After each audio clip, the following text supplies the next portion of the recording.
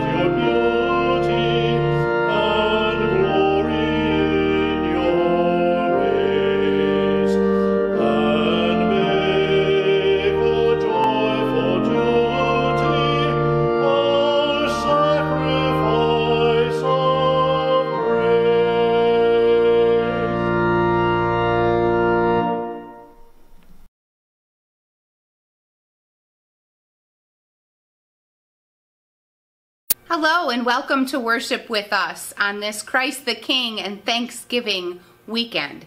We are grateful that you worship with us online today. Let us praise God together.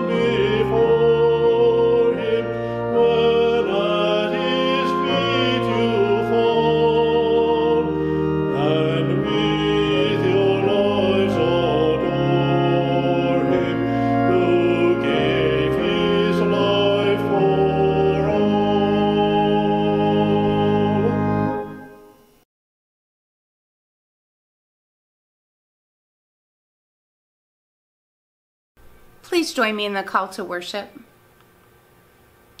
We come, for God gathers us here with that community called faith, where the hungry are served first, where the thirsty drink life's water. We come, for God welcomes us here into a home called grace, where the naked are clothed in hope and strangers are embraced as prodigals. We come, for God unites us here, sisters and brothers, in the family called love, where the imprisoned model justice and the sick are cradled in God's peace. Amen.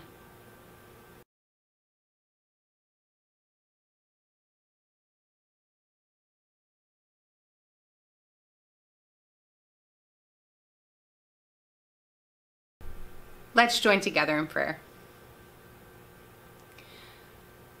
Awesome God, we thank you for worship. We thank you for your presence with us. I ask, Lord, that on behalf of all the people that are gathered in worship today, that you would be with each of us, that you would fill us, that you would remind us of thankfulness, and that you would walk us through this Sunday, reminding us of whose we are, so that in gratefulness we can turn that back to you. We offer prayers of thanksgiving, Lord. It's in your Son's name we pray. Amen.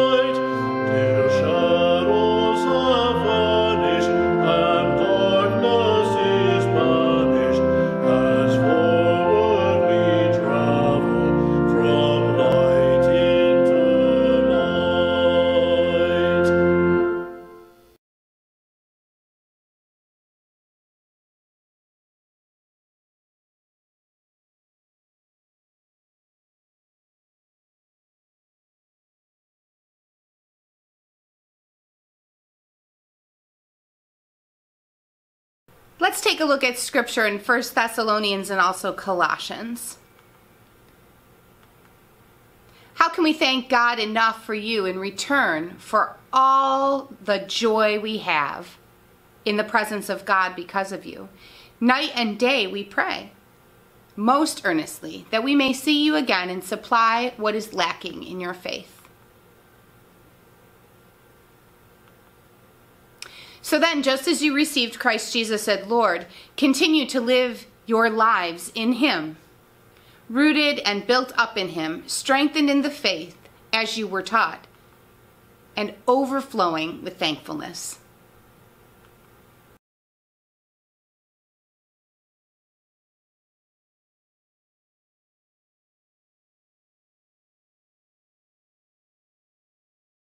Friends, today in worship, we are celebrating two things. The first is our cultural celebration of Thanksgiving, and the second is our Christian liturgical calendar celebration of Christ the King Sunday. These two complement one another. The reign of Christ, or Christ the King Sunday, is an opportunity for those of us in the Christian calendar to be coming to an end in a season, a whole year's worth of liturgy within the church life, hearing that whole narrative again. It's, a, it's an, also a reminder that we are called and chosen, and it's an opportunity to give thanks for the author of salvation, to give thanks for the one who has given us the gift of the church and the fellowship of the body. And for that, we celebrate each time that we gather in any way to worship God, whether that's in person or online. Thanksgiving is also a time to celebrate in our cultural context the abundance of what we have from God. When we become overwhelmed with gratitude for all that God provides. From a very young age, I remember that what, wherever the Thanksgiving table was, sometimes it was quietly with one parent and my sibling, sometimes it was with 30 people or more gathered around a table. Other times it, in my life, I think that I've even been away for Thanksgiving. No matter how big or small the table has been, there has been an abundance of thanks because it is a moment to pause for what we have. We do give thanks for a delicious meal and the people around a table, but ultimately we are giving thanks for our life in the kingdom of God. We are giving thanks for our place in this world as a child of God. We also are reminded at this time of year that there is an abundance around us. There's enough. There is enough in the world for everybody to live fully. And so, what we are faced with is this question of thankfulness.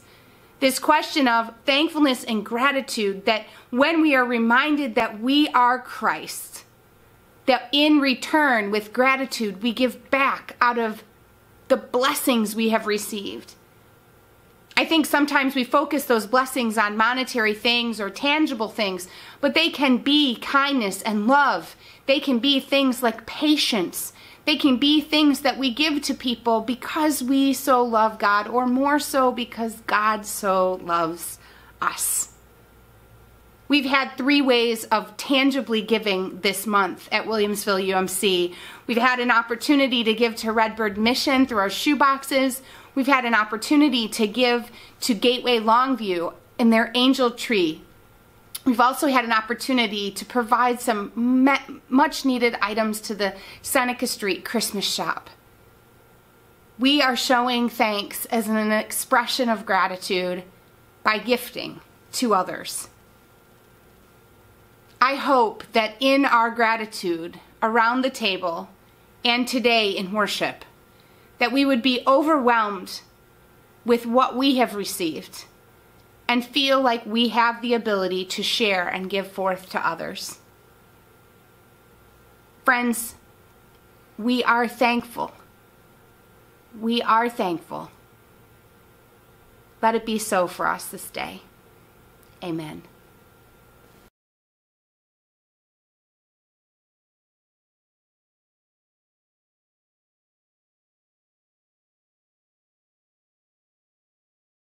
Friends, let's give back with our tithes, our gifts, and our offering. The way you can offer back your monetary gifts is seen behind me. Thanks for all you do for the kingdom of God.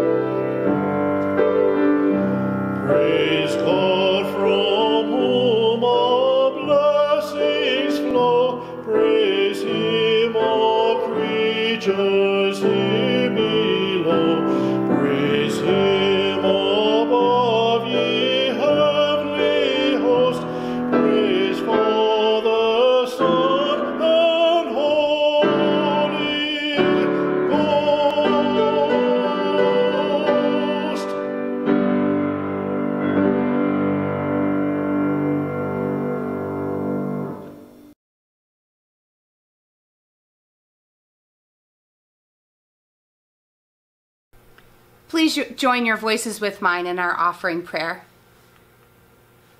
God of mercy and compassion, what is the offering that pleases you most?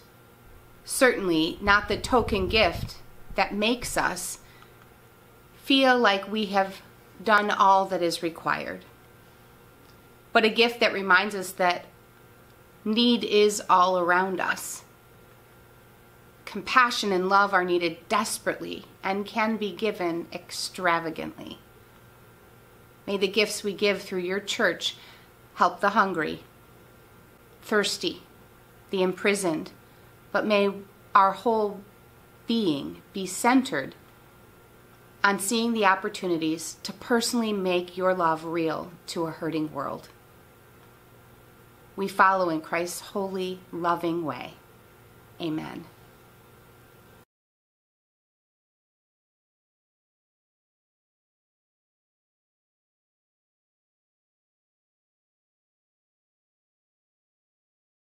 Friends, go forth in thankfulness. Go forth in thankfulness, knowing that Jesus Christ surrounds you with his love always. Go in his peace. Amen.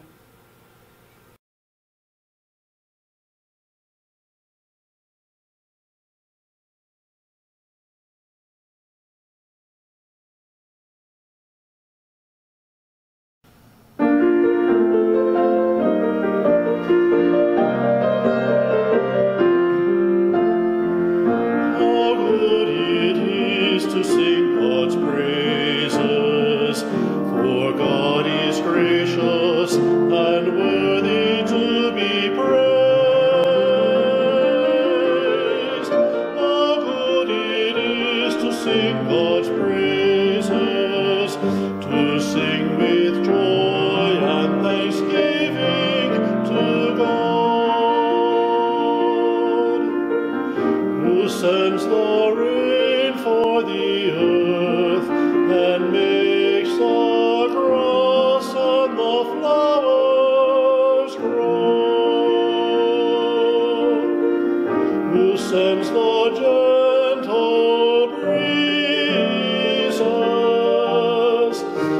God's praises